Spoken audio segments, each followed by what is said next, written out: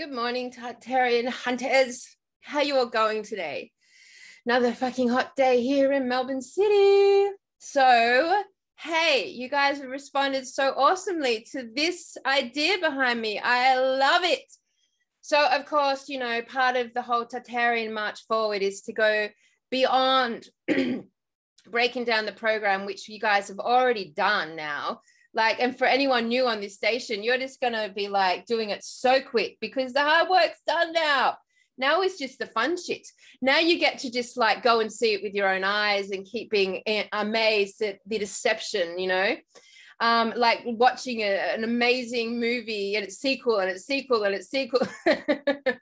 Um, so yeah i mean like in summary every single thing you've ever been taught about anything to do with our external world's a lie a deception. Everything's been inverted. Like, there you go, the end. So enjoy the Tartarian experience because it blows your minds and there's so much cool shit comes out all the time. Um, but we got to then ask what next, universe? What's happening next? What is it we want to create? Because once we blow this Tartarian consciousness wide open in our own psyches, we are entering a place of what would be called in my head the void the void. When you look around and like everything you ever like thought was real is not and everything you thought wasn't real is you end up opening up this space in your brain to um you know start to look at okay the reality is therefore i am a creator god human consciousness organic consciousness and i am responsible for creating reality and I have just inverted my concept of what reality is. Therefore, how can I apply this to myself and the life I would love to be living? More so, how am I going to contribute my amazing, fucking awesome high end IQ? Because, baby, you guys are high end IQ. Welcome, welcome, welcome. You cannot get here without being smart motherfuckers. And you know that. You can't get here without being awesome human beings who have gone down the friggin' rabbit hole and come out and understood and fucking deprogrammed yourself. Congratulations, you fucking smart asses. so, my smart, smart friends, like, what do we do next? What is now? And it can't just be like pretending, you know, that now we know this, life's just going to plot along. Like, and we're just going to keep integrating and life will plot along and we're going to keep integrating. Because right now you're at the new chapter. You're at a new initiation. And that new initiation is to start participating and creating the new earth forward. So a lot of the best best best best teachers who are speaking on youtube are all encouraging everyone right now to take their head away from disclosure away from the fear paradigm, away from the news, away from the media, away from the vax, away from um, the jab, away from it all, and start to put their awesome capacities into generating visions of a new earth. Now, the reason that I bothered to do these things behind me, I obviously am an artist and a graphic designer. So I have the capacity within my own skill set to be able to sketch out an idea and then bring in all the little icons and create it and produce, you know, basically a visual representation of what I'm talking about. But that's just one thing that I've picked up in this lifetime, you know. I remember like way back, like I took over a newspaper, I dropped out of university um, because I got five ungraded passes in a row, which means they didn't know whether to give me a high distinction or a fail. They didn't have to fucking mark me. I got five in a row. And after that, I was just like, I can't be here anymore. What's the fucking point? I bought a newspaper, um, the age of 18, and then locked myself in my bedroom for three weeks and taught myself how to use Photoshop, which at the time was basically this big mother beast, right? And we used to have like these things called um, zip disk for like these thick things. Anyway, it was all very archaic back then, but that was my first step on a computer. I'd never even, I had not owned a computer growing up. Um, I didn't even have an email back then, you know, it was all brand new. And we lived through all that. You guys, we lived through that amalgamation of technology back then. Anyway, so one of my skill sets was Photoshop and I forced myself to learn it, but that doesn't need to be your skill set. Your skill set at this point in your life is perfectly positioned for you right now for what you need to output right now. What is that? What is it that you do that's amazing or that you love or that you know that you can do to output a vision of the new earth you know? It doesn't have to be a drawing or a painting or a architectural plan. It can be words it can be ideas it can be anything. All right so one thing i'm going to start pushing the tartaria australia page and uh, campbell's fucking on board with this. He, he's so there himself. We're all we're all there um, is to like actually move us forward into time a little bit and start to work on this new earth paradigm. So I am um, working with TUI to find land and create a school, a new earth school. Um, and this is going to be picking up all a lot of the families who have been um, inspired to leave the cities and who have also had no choice but to take their kids out of school to protect them and now looking for alternatives. And this sort of model is going to be have popping up all over Australia. You know, this is what's so amazing about it, guys. Like not only um, have we played witness to choosing our sovereignty so fucking powerfully now that no one will ever, ever, ever convince us not to stand sovereign anymore. Hello. Will you ever, ever, ever, ever be convinced to take that jab? Ever? No. If you've got this far, you're like, boom, done. we are organic consciousness. We are solid. We stand for God. um, which means that there are a lot of families now who are like, okay, what next universe? So, you know, intentional schools, intentional communities, um, integrating regenerative agriculture all the way through this. Again, my background, integrating how to, to, to utilize animals and plants and soil. So it's a, a thriving system, you know, to integrate flowers and bees and the bugs and biodiversity and, and utilizing water and natural sequence farming and permaculture and all the beautiful, juicy words of understanding nature. Amazing. All going to integrate into these new communities, these new schools, these new structures, these new local economies. You know, I'm a big fan of op shops. You fucking know I love an op shop and I've owned five of them in my life and I fucking love them. And anyone can start an op shop.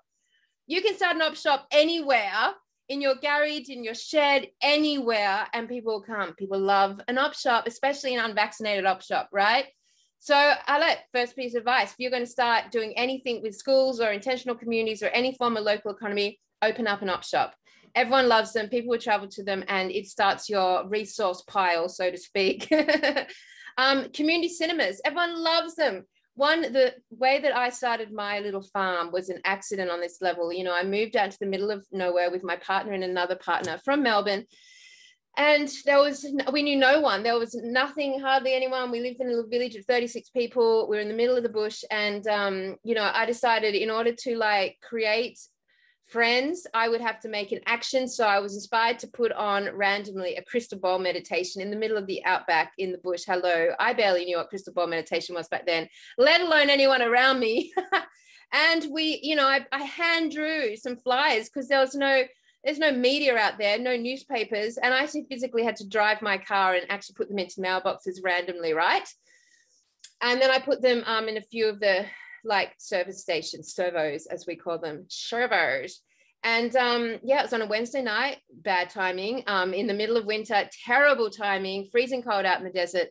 And um, I was blown away and amazed that in that on that one night, more than 50 people turned up. And they turned up from an hour and a half away in all directions because they had never come across an event that was aligned with their alternative thinking.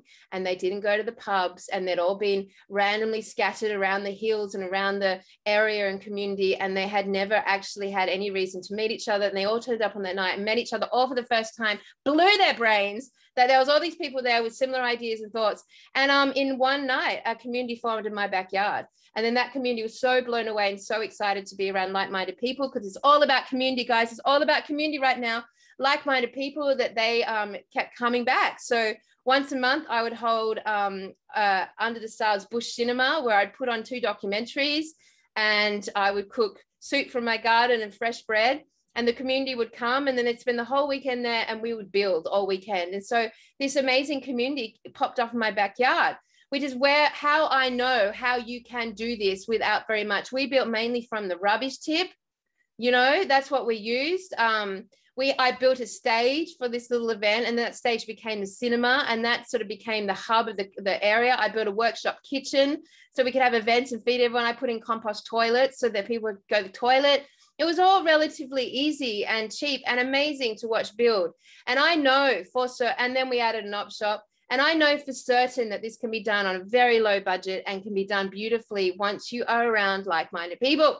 So, this is a good place to start, right? Because how more like minded are you going to get than Tartaria Australia?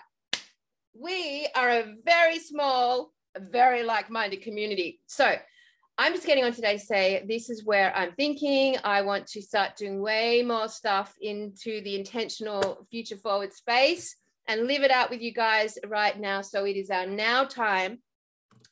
I'm going to have to, unfortunately, but you know, we have to do what we're being inspired to do. I will put up a new website to do with um, this stuff, the School of New Earth and intentional creation and Tartaria Australia.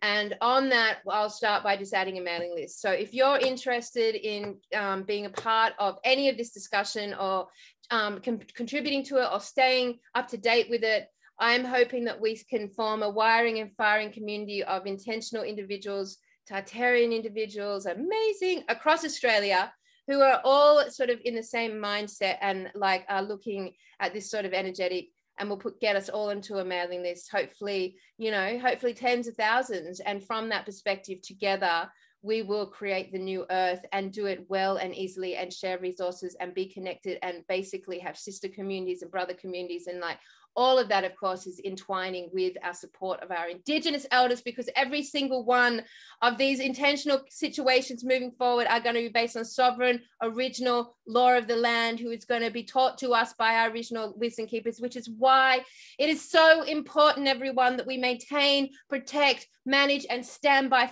firmly our Indigenous elders right now as they go through this you know, a, apparent genocide. And I say apparent only because we know overall, because we're so up there with what's going on. This, this is a movie, but ultimately it is happening. It is happening out there. We've got so much going on with our original people, so many videos coming out um, that we have to like send our intention to support them. Our intention is the key here.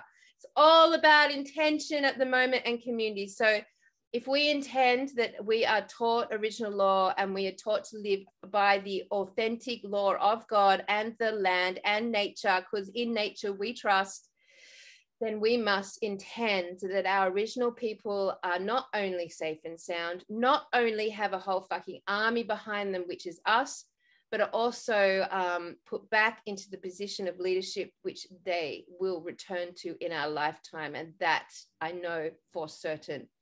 So Tartarian Hunters, that was just a quick random hyped up um, hello and thank you for all your positive comments on this map. I'm pumped. I want to hear your feedbacks. Give me 24 hours. I'll whack up a website and then everyone who's inspired go and sign up to the newsletter so we actually can be in contact. Because you know, guys, like the more I stand up, the brighter I get and the more I get censored, it's going to happen. It's happened to me so many times in this lifetime. This will be no exception. So, um, yeah, let's form a newsletter. I can't publish on YouTube right now, just for that like little like gesture with Cindy. We cannot publish. I can't at the moment, and um, I, you know, I'm going to get worried about Facebook and this being our only point of contact. So let's do the email thing. All right. Hey, did I tell you that I loved you today? Because I fucking love you. And thank you for waking up and standing beside me, you smart motherfuckers.